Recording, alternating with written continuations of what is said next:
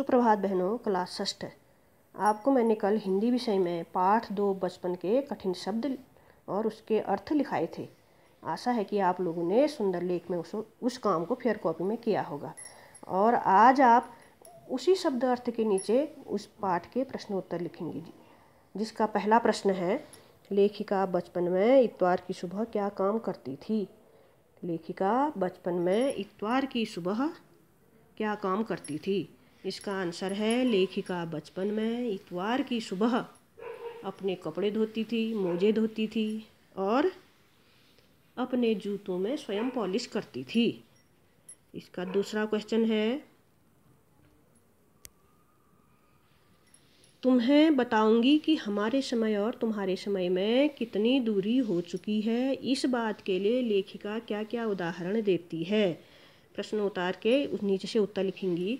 लेखिका के अनुसार आज और कल के समय में, लेखिका के अनुसार आज और कल के समय में जो दूरी है, वो इस प्रकार है।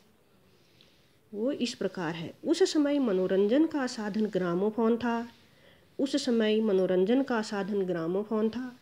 परंतु आज उसका स्थान रेडियो और टेलीविज़न ने ले लिया है। आज उसका स्थान रेडियो और टेलीविज़न ने ले लिया है। पूर्ण विराम। पहले बच्चे कुल्फ़ी खाना पसंद किया करते थे।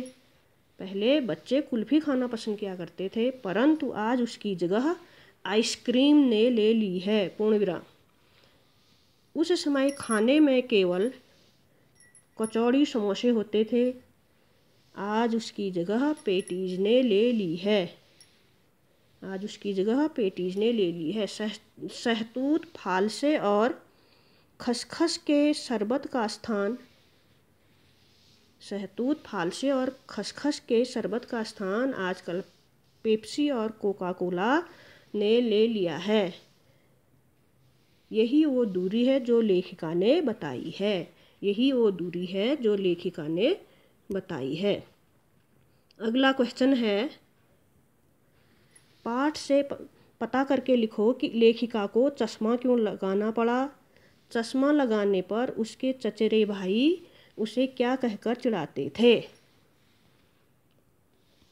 इसका आंसर है, लेखिका को चश्मा लगाने की आदत नहीं थी। पहली बार चश्मा पहनने के कारण वो कुछ अजीब सी लग रही थी। पहली बार चश्मा लगाने के कारण वो कुछ अजीब सी लग रही थी। इसलिए चश्मा लगाने पर उसके चचेरे भाई उन्हें छेड़ते थे। अगला प्रश्न है। लेखिका अपने बचपन में कौन कौन सी चीज़ें मज़ा ले लेकर खाती थी? लेखिका अपने बचपन में कौन कौन सी चीज़ें मज़ा लेकर खाती थी, उसमें से प्रमुख फलों के नाम लिखो।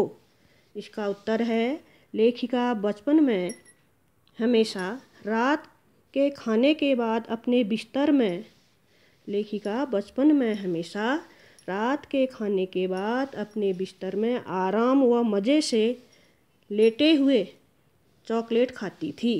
पूर्ण विराम। चॉकलेट के अलावा लेखिका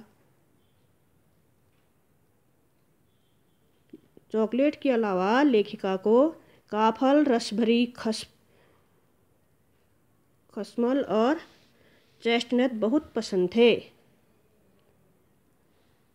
काफल, रसभरी, कसमल और चेस्टनट बहुत पसंद थे। वे चने भी खाती थी। वे चने भी खाती थी। आज का काम इतना ही है। शेष कल को कराएँगे। इस काम को आप सुंदर लेख में करेंगे।